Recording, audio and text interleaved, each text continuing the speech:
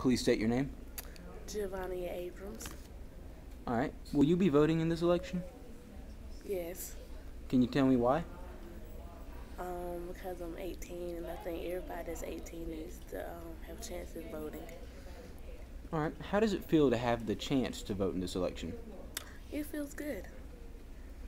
All right. Uh, what are some of the things that you have to do or want to do before you cast your vote? That I want to do. Mhm. Um,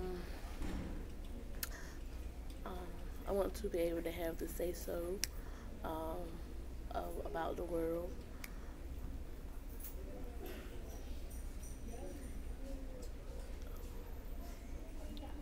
What are you expecting the voting process to be like?